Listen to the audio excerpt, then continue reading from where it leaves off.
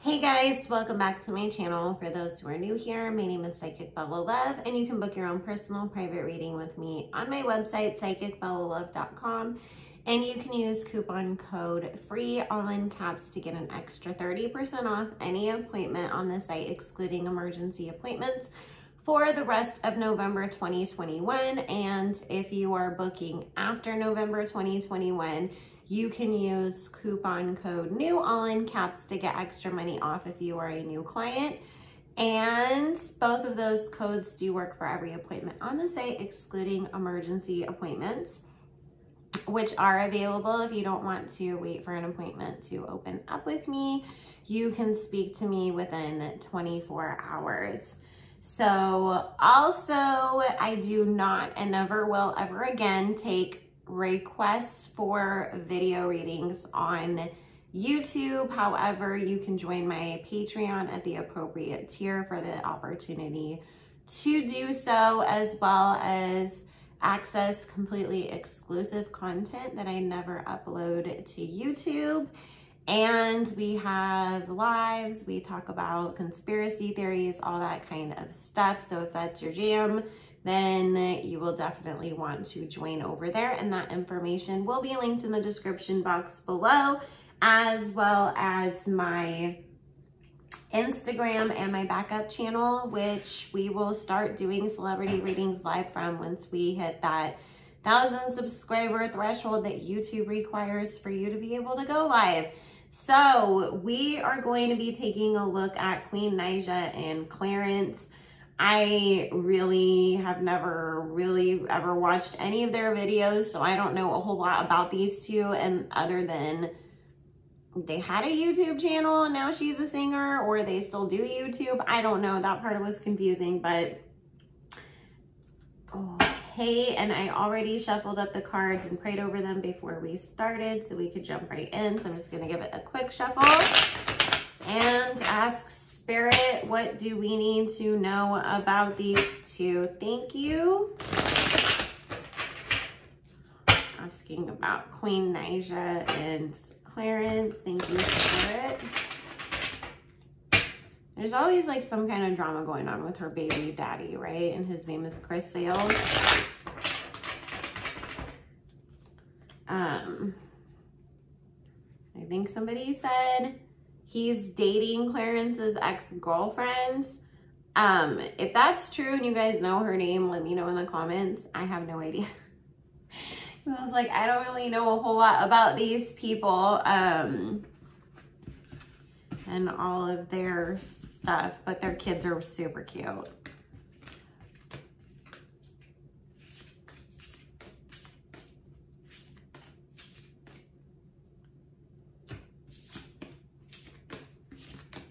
And tell me if you guys listen to Queen Naija as well in the comments. And if you are new here, make sure you subscribe. I have content coming out every single day until the end of the year.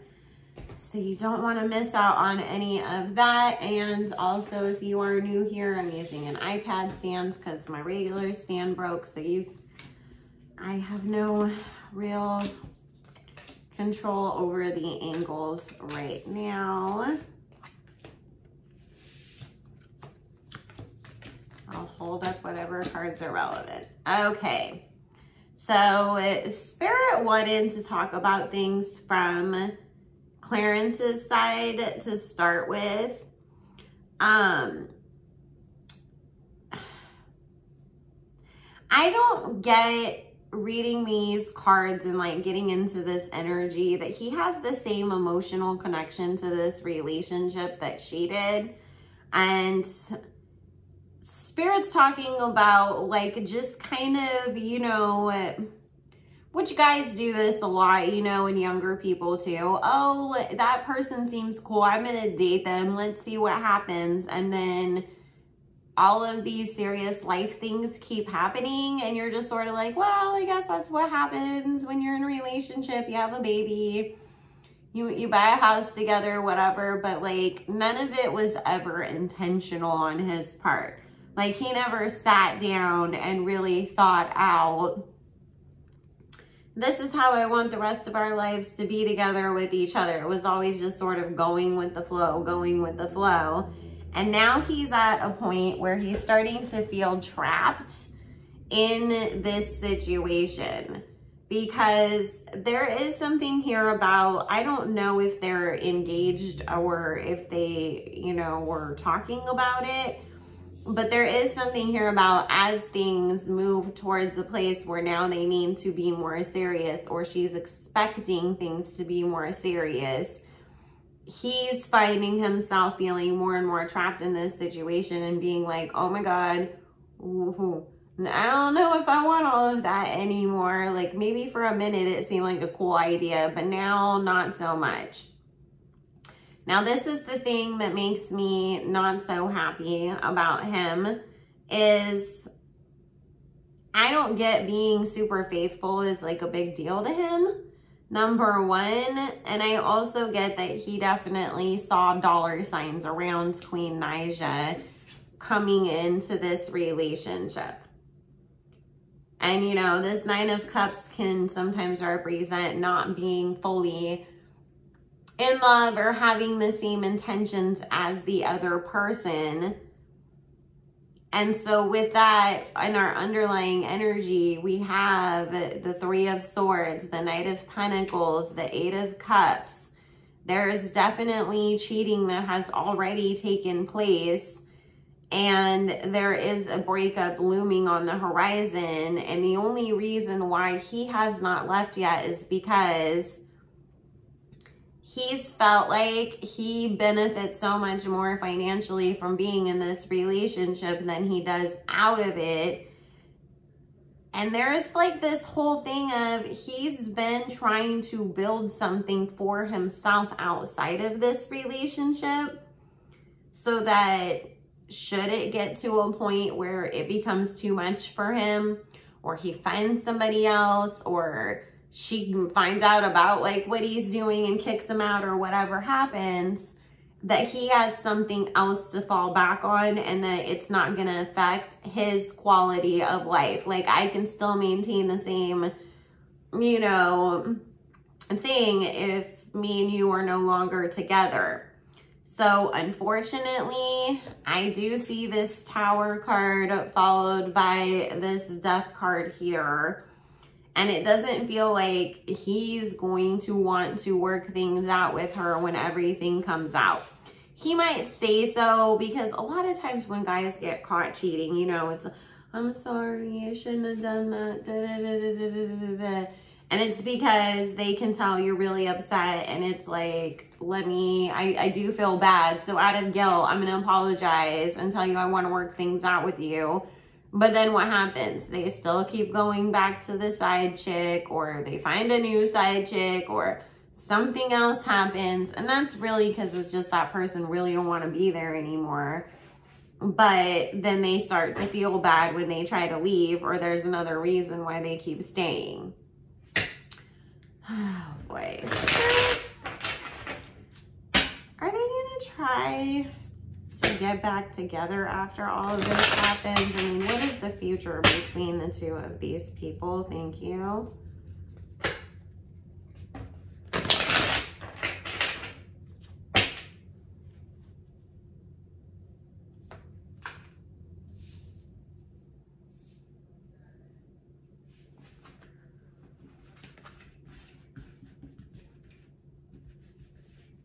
Was there some sort of cheating that happened with the two of them getting together? Like they were already communicating when they were still with other people, even if it wasn't like necessarily technically we cheated, but like we were inappropriate friends before or something like that because spirit saying this relationship came together in a way that wasn't, you know, necessarily the way that we would normally hope to see relationships start on the up and up.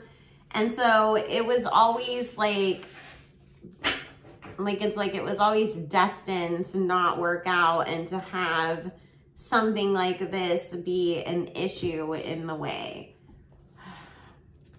Just for karmic reasons and the way that it all began in the first place.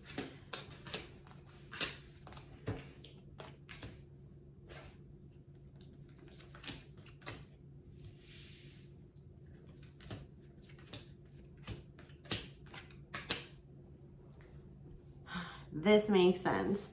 Spirit saying she was actually talking about having another baby and trying for a girl because it's like then the kids will all have like you know they'll all be spaced out evenly but still young enough that they'll you know all be friends growing up and then you can get it all out of the way now and so it was like let's try for a girl and i did I get that like in the middle of all of this, this is what freaks him out and causes him to go, you know, act like a fool and do something to sabotage it so that he can get out of it because he isn't, you know, stepping into his divine masculine and just saying, look, you know, I don't feel like this relationship's working anymore I don't want to, you know, stay together, much less have another baby right now. But instead of being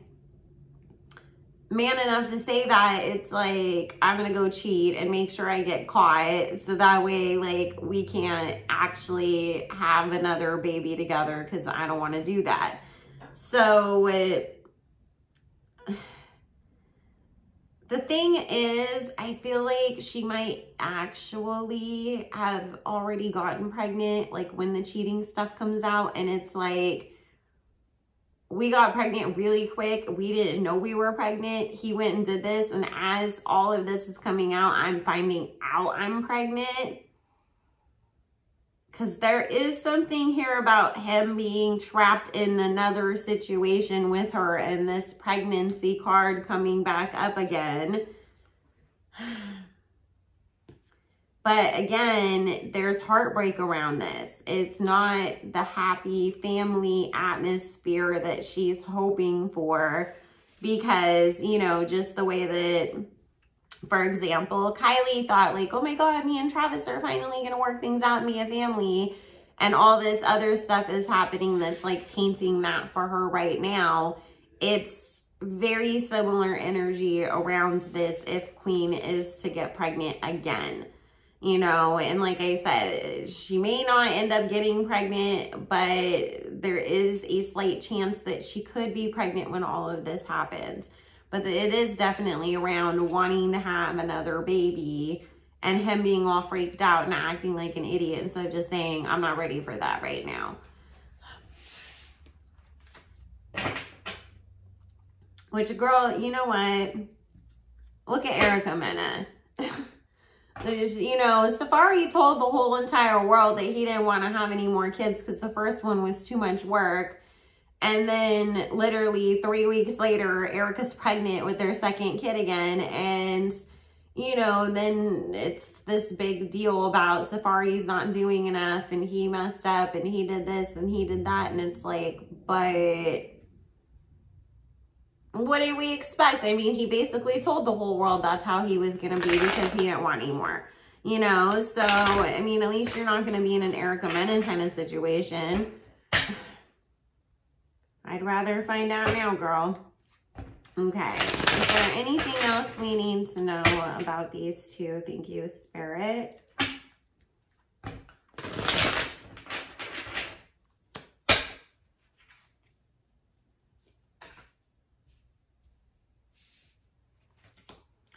It's definitely going to be a big deal online when he gets busted for this. Oh, and expect, you know, that everybody's either going to be looking to see what do the exes have to say about this, you know, or whatever. But I mean, I feel bad for Queen because it it feels like it's more than one person too. Like a bunch of girls are all, oh, well, since you're telling your story, let me come out and tell about how he's been in my DMs for the last five years, you know, or whatever. And it is going to be like this landslide. Like one person tells their story and then a whole bunch more come to the forefront to talk about their experiences. And, you know, it's hard enough to go through something like that, but especially in the public eye and especially when you really, you know, had a lot of people looking at you as your relationship was something great when obviously it's not what it appeared to be. So I do feel, you know, Queen having to deal with a lot publicly. This is still like a little bit away, you guys. I mean, Spirit's not giving me any exact time frame on when this happening. They're just saying this is the trajectory of where things are headed at this moment. But, you know, just because I feel like there's going to be, you know, it's going to come out that he's been kind of cheating on her since the beginning on and off. Oh, boy. So anyways, guys, I am going to go ahead and end that here. I love you guys all so very much. If you have not already, make sure you hit that subscribe button on your way out as well as the bell notifications so you don't miss out on anything. Like this video and let me know what did you think about the whole Queen Naija Clarence thing. Do you listen to her music? Were you fans of their channel? Um, is this a surprise? Is it not? Like I said, I don't really know much about them, so I don't know how they all got together and who, if anybody cheated or whatnot, but you guys can let me know in the comments. Also, if you want to book your own personal and private reading, join the Patreon, follow my backup channel or my Instagram. That will also be in the description box below. I hope everybody has a good one and I will see you all later. Bye.